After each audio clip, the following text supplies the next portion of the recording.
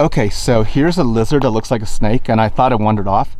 Um, it kind of almost reminded me of like that lizard back like when growing up, like in Manoa, except this one is a little more scary looking. The, the one in Manoa, it's like this little green, I don't know what the name is, but this guy, it's almost like sort of scary looking. It's like a snake, man.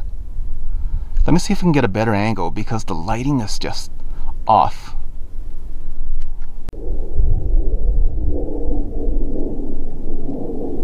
I don't know what species that is. It's really cool. Whoa. Look at look at that. So like that's a common feature of reptiles. See the eyes? I mean that's a common feature like for like everything I think like from gators, crocs, lizards, snakes, and like even to their distant cousins like the dinosaur.